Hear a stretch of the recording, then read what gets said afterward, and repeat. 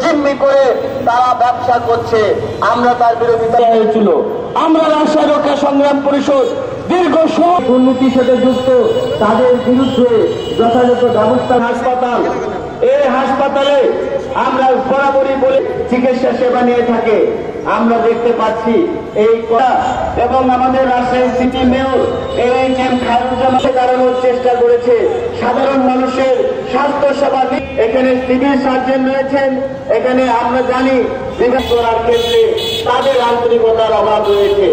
আজকে না থাকার কারণে তাকে স্বাভাবিকভাবে এই বিশৃঙ্খলা এখান থেকে করতে হবে।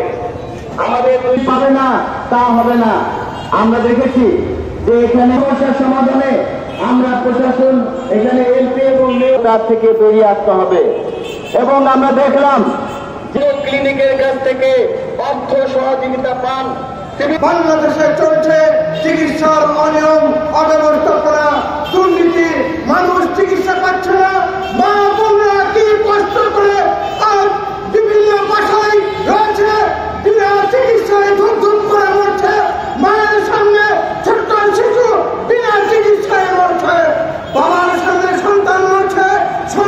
সামনে, বাবা মরছে, মেয়ের সামনে, মা মরছে, কিন্তু আমরা চিকিৎসা পাচ্ছি না।